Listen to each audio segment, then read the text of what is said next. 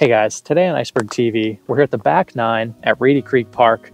The whole front of the course seems so busy, so I figured I'd skip ahead to the back nine. We've got a huge stack of discs thanks to Disc Golf Deals USA.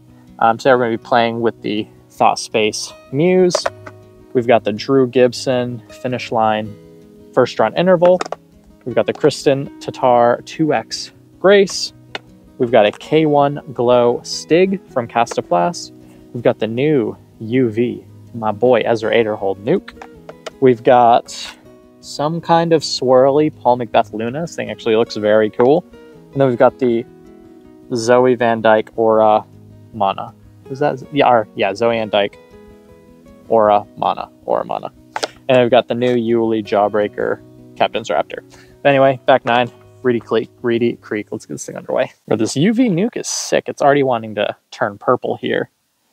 We'll go with this one just because it's my boy Ezra's disc. He's been a big support of the channel for a long time now.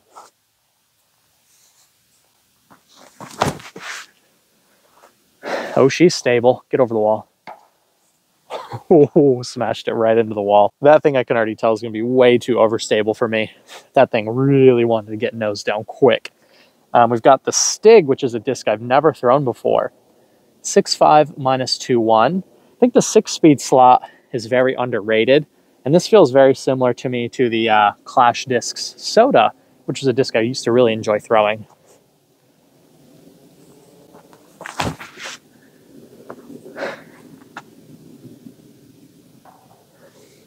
Oh yeah, that's a fun disc. So Disc Golf Deals USA has been a supporter of the channel for a very long time now. Must be well over a year at this point. And it's been really fun working with them so far. Um, we've developed a pretty good relationship all last year. They were sending me discs to do reviews on. And then you guys went over the website and bought discs from them.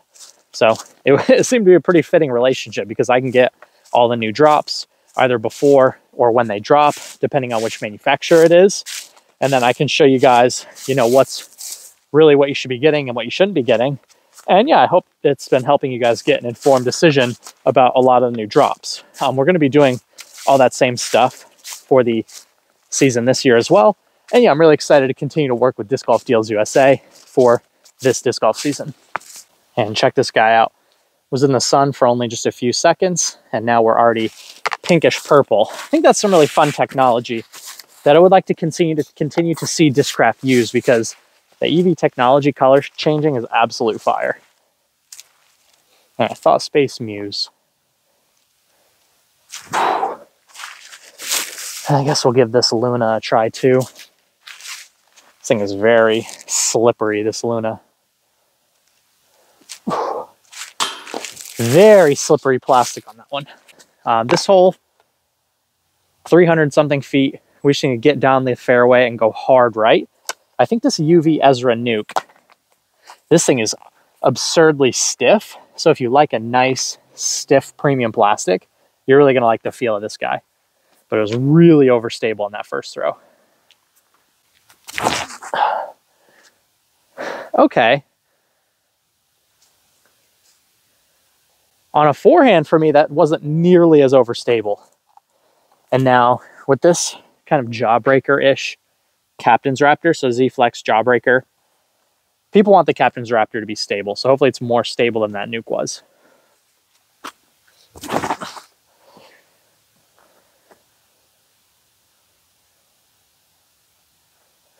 Not quite as overstable as I was expecting.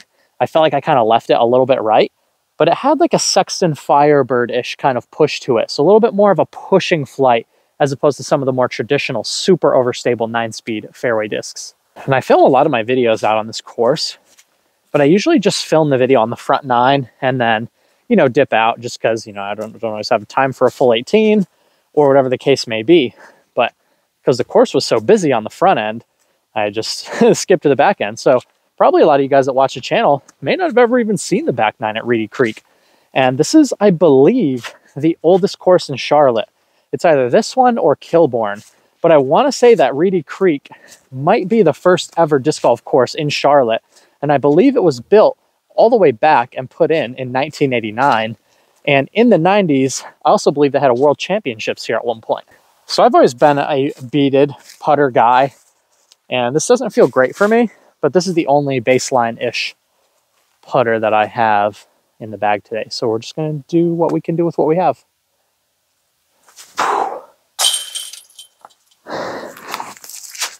If I had a bead, I, I don't know, I think it might have stuck. What do you guys think? Comment down below. All right, Z Flex Jawbreaker Captain's Raptor. Let's try it on the backhand flex. See if we can get something to flex up to the basket there.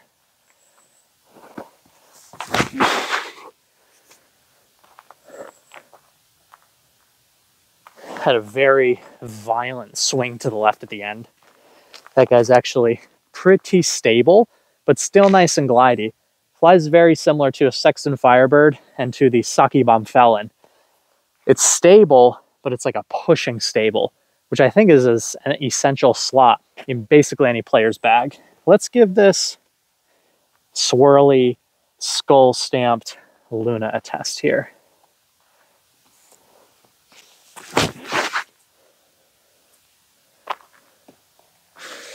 A lot of glide. Seems like a really good flyer. And we'll try one more disc out here. We'll try out the Aura Mana. Definitely releasing them on a little bit too much hyzer. Right, we got another just inside circle putt. I really like the Nerve plastic um, with this Muse. It's stiff-ish, but still has like a tacky kind of suppleness to it. Like it's got that little bit of grip to it. Very similar to the Supreme Classic Judges that I really like. But again, no bead on the bottom. If I get a Wizard in this plastic, I think they'd have an absolute winner. There it is. Hole 13 is very similar to hole 11, that other forehand hole we just played. We're going to give the first run forged interval a go. Definitely passes the pop top test. It's got not a super high parting line, but not a super low parting line. Kind of just seems like it would have the parting line of like a money run destroyer. It's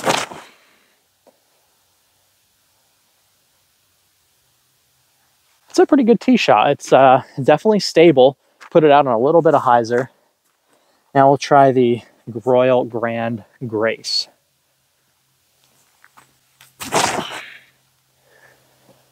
Also nice and stable. That Grace is a little bit more stable than I expected. Just got a huge flare skip, like 75 feet to the right. All right, we'll take a quick break from the course to just give everything a quick open field throw. Um, this is the only open field throw that we'll have basically during the round. So we'll take advantage of this open field and we'll give everything a quick toss. Um, we'll start off with the Muse.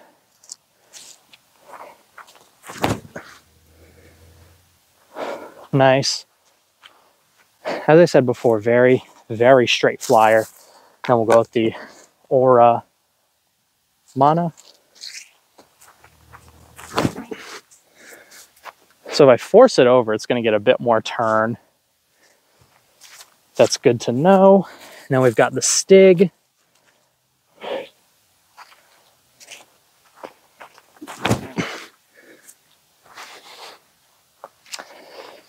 Need to give them just a little bit more height. Got the Luna here.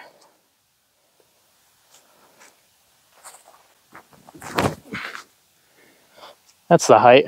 Lunas have always been such good straight flyers as far as throwing putters go. They go really far compared to most putters.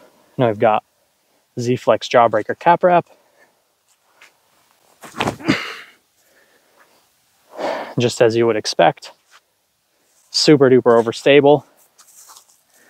Now I've got the Grace, the Interval, and then Ezra's Nuke.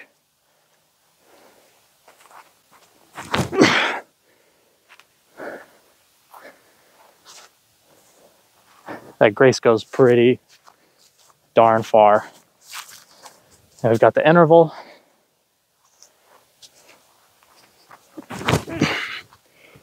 Oh, that's nice. Curious to see which one went farther, the interval or the grace. And now we've got Ezra's magic color changing nuke.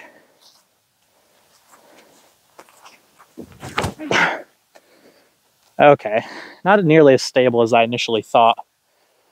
I definitely had a nice little bit of flip up to it, but then a good hard fade to the left at the end. Um, let's go gather, gather everything up and then we'll get back on the course. Odds are most of these discs will get a full dedicated review to them, but let me know in the comment section down below which two of these discs are you guys most interested in seeing a review of, and I'll get those to you uh, sooner than the rest. Hole 14 is a unique opportunity to put a putter up in the air and see if we can get it to hold a little bit of turn. I think the Muse is going to perform nicely under this specific situation.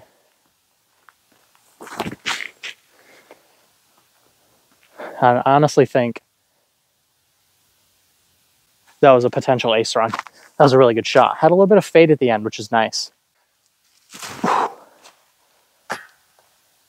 All right, hole 15 is going to be the longest hole in the course. Um, we're going to try a backhand Kristin and a forehand Drew.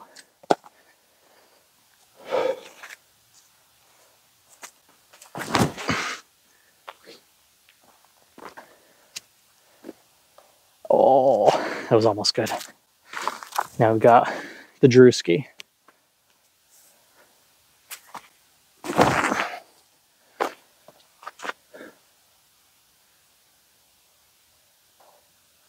I got through everything. That was insane.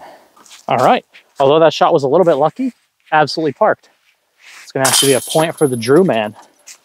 It's exactly how we drew it up. Oh. That's a nice little flyer right there. Reminds me a lot of like the old champion leopards. All right, so the Stig ended up being pretty much parked.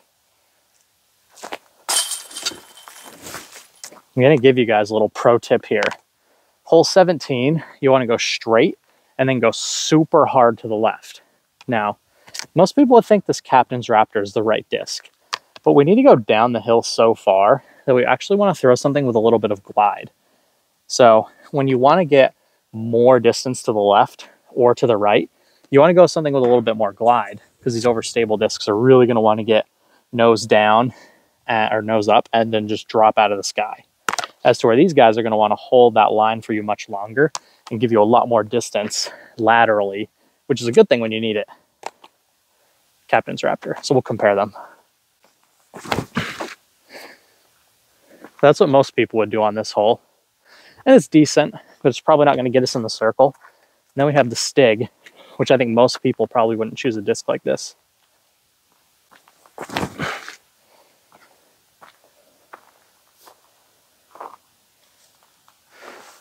And we'll go see which one's closer. And I'll show you guys the science right here, because I'm a disc golf mad scientist. We got the cap wrap like 70 short but most people would throw a disc like this on, on this hole. Or you can go with something with glide and a little bit flippier like the Stig. And as long as you can keep it on hyzer, we've actually got ourselves a nice circle's edge putt. So instead of having almost no look at birdie with a stable disc, you throw your less stable disc, it'll stay in the air much longer and give you so much more lateral distance than the stable one. and it's really easy to think, you know, more stable equals more left. That's actually not the case. Oh, there we go. Now that I'm aiming at the dead center of the pole, this putter seems to be working a lot easier for me. Not really trying to play the right side of the basket with a straight putter. If you have a straight putter, you want, you want to play towards the center. All right, I'm already going to apologize for the sun. I know you're probably not going to be able to see these very well, but it's a big forehand where we want to go straight through most of the flight and then fade to the right at the end. Those graces are nice. All right, last putt of the day. They've been feeling pretty good now that I've corrected. Last putt with the Muse. Oh, nice bid. Anyway, guys, I guess I'll give you a quick review of everything that we threw today. Um, if you haven't already, comment down below which one you want to see a full review of. Comment two discs the discs with the most votes, the top two, I'll do those reviews first, and then we'll get to the rest of these. We've got the finish line, first run interval, forged plastic. Really nice plastic. I like the pop top. I think this is a really high quality driver, especially if you're someone who likes destroyers. If you throw really far, this is going to be an absolute bomber for you. Um, this one's 174. I'd be interested to try one in a lighter weight. Might suit my arm speed a little bit better. Luna, Love the flight. Don't love this plastic. Very stiff, very slippery. Captain's Raptor. So far, I think this is the best Captain's Raptor that I've ever thrown. It's got that little bit tackier feel in the hand. I really don't like ESP plastic from Discraft. I just think it's too, it just feels cheap in the hands to me. But this does not feel cheap. This feels like a premium nine speed. It's a little bit pushier than you might expect. Kind of flies like a felon.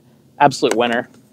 Ezra Nuke, again, a little bit stiffer than you would expect, um, but I absolutely love the color changing aspect. And this is one that I'm excited to throw more. See if I can get some true max distance lines on this at a longer course. Kristin, Tattar, Grace, two time, absolute 11 speed bomber. Ooh, thought the camera was going to fall over.